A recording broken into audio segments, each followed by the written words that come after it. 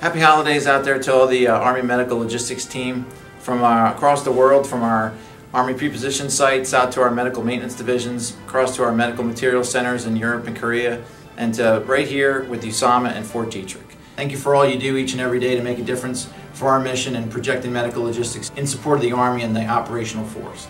I want to thank you and your families for all that hard work and sacrifice and another successful year here in 2019. This has been a great year of transition for us here in both the Army and also for the Army Medical Logistics Command. There's four elements that really get us through transitions. Leadership, teamwork, respect, and patience. We've had abundance of that all year long here, and I would ask that we continue that in 2020 as we build our mission, grow our foundation, support that Army and the Joint Force when and where we need it. I want to say happy holidays again to you all. Enjoy these holidays. Take some time to rest, have a peaceful time with your families, put the eggnog on, drink some cider, and enjoy it. Rock in the new year.